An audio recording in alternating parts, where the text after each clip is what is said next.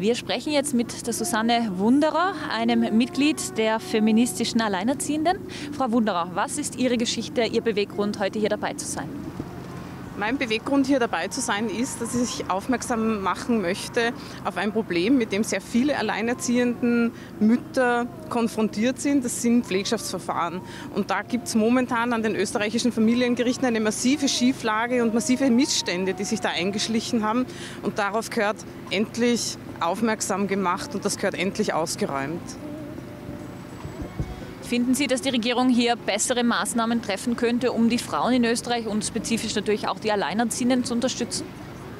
Ja, in jedem Fall. Und da gehört auch ganz dringend was gemacht. Und zwar nicht nur für die Frauen, sondern auch für die betroffenen Kinder, weil da massiv aktuell gerade ähm, Kinderrechte mit Füßen getreten werden und das Kindeswohl da massiv unter die Räder kommt. Es hat sich da in Österreich gerade ein Netzwerk formiert und wir sind dabei, einen Forderungskatalog auszuarbeiten, den wir heute auch an die Politik übergeben werden. Die Mehrfachbelastung in der Corona-Krise, wir haben es angesprochen, die Balance zwischen Homeschooling und Homeoffice, für Sie auch ein Thema? Ja, das ist ein riesengroßes Thema.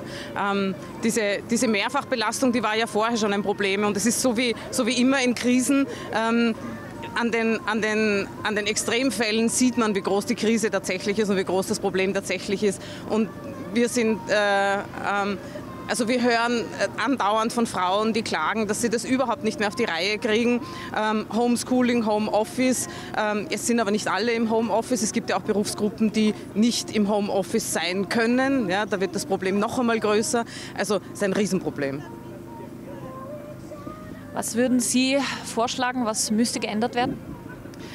Also in meinem ganz speziellen Thema, dem Pflegschaftsverfahren, braucht es dringend eine Reform des Familienrechts. Und dann äh, muss endlich eine, eine ehrliche Politik für Frauen gemacht werden. Es muss endlich ehrlich auf die, auf die Probleme hingeschaut werden. Und es kann nicht sein, dass dann diejenigen, die Schwächsten in der Gesellschaft, die eh keine Stimme haben, dass dann genau die durch das Netz fallen. Das kann nicht sein.